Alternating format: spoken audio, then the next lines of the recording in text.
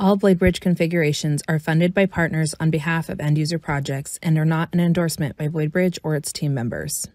Welcome to BladeBridge's demo of Informatica Power Center to Azure Data Factory conversion. BladeBridge is a company that specializes in ELT and ETL tool conversions from legacy to new systems. If you're familiar with our portal or if you've seen it or if you haven't, you know that we have pre-packaged converter demos. Among them is the Informatica Power Center to ADF converter, and we'll be going over it today. Uh, when you download the zip file, you'll get these contents. You have a log file which uh, will generate automatically once you run converter. We have info to any executable, which is available in this demo, but also on our portal, we have it available for download, and as well as with some release note information. We have a couple of bat files, a start demo shell bat, which gets our root directory, and an info to ADF bat, which runs the converter.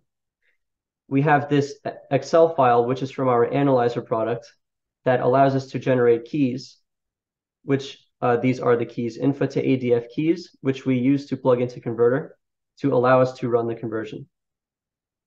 We have an input folder with an Informatica uh, XML export from Informatica repository, which contains information on mappings and workflows. We also have an output ADF uh, folder, which is blank, but we're going to populate this when we convert. We have some configs as well. The main config and another config that it uses. Uh, let's start off by looking at the configs. In general, all of our converters use config files, usually specified with the U switch. We'll go over switches later. The configs allow conversion to be configurable and allow the client to configure information quickly without recompiling an executable. For example, in this case, we can specify the factory name and the resource group that we're going to convert to. In addition, we have certain structures that are configurable, but that also have dynamic variables that can be substituted, usually denoted by double percents. And this will go into our JSON structure, which we will convert, the ADF JSON structure that we will then, we can import into ADF.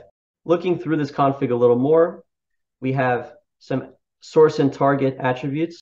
We have uh, import commands. So in for this conversion specifically, in addition to converting the files, we will also get the import commands that we need to import the JSON files that we get into ADF. Uh, additionally, from here, we have workflow specifications. So in addition to mappings, we also convert orchestration or workflows in this case. And we also have some more configuration on the JSON structure, uh, again, with dynamic variables. If we look at the secondary info to ADF JSON file, which this file references, we can look at different substitutions, uh, such as line substitution and function substitution. These substitutions use regex to find and replace certain strings that, that we can find in the conversion process as well as certain data type casting. Next, we can look at the bat files. So as mentioned before, the start demo shell bat file simply sets the root directory. Next, the input to ADF bat file kicks off conversion with command line switches. To get a little more information on these switches, I'm going to run our converter without any switches. So to do that, I'm going to just drag input to any exe. And we get some information. So to begin with, the C switch asks for a license file, which is in this case, this file, the text file. Uh, then we have to specify either the I or the D switch. The I switch expects a single file, such as an XML file, or the D switch expects a folder with multiple XML files in that folder. We have the N switch, which is for the output folder, in this case, output ADF. We have the M switch, which specifies the target technology that we would like to convert to. In this case, the info to any converter also supports SQL, PySpark, Databricks, and Snowpark conversions in addition to ADF. Then there are some other optional switches that are specified in square brackets. Among those switches is a U switch right here, which we will use to specify the JSON file. In this case, info to ADF main. So just to go over it again, we have a license file, the input folder, the output folder, we specify ADF as our target technology. We reference the config file. And we specify also a log file. And v is verbose, so that is where we get this log from. With that out of the way, I'm going to run conversion. So the first step is to run the start demo shell bat, which is just going to fetch our root directory. And next, I'm going to run info to adf bat. Now, as this is running, we'll see that the converter gives us the command line switches that we will actually need to use in order to import the JSON files that we get out of this conversion and import it directly into Azure Data Factory using the CLI. Looking a little closer at these switches, we see that we're converting three types of items. The first one is a data set, which uh, contains a schema of columns and their types for sources and targets. Uh, we also convert data flows, which are the equivalent of mappings in this case. We see that we're converting multiple mappings, so we have a section for each mapping.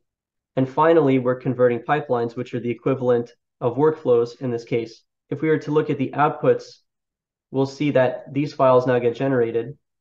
As you notice, the red turned into an X. We have import commands, which are not necessary uh, when it comes to importing, but we use them for convenience. So you have access to the import command for each of these files.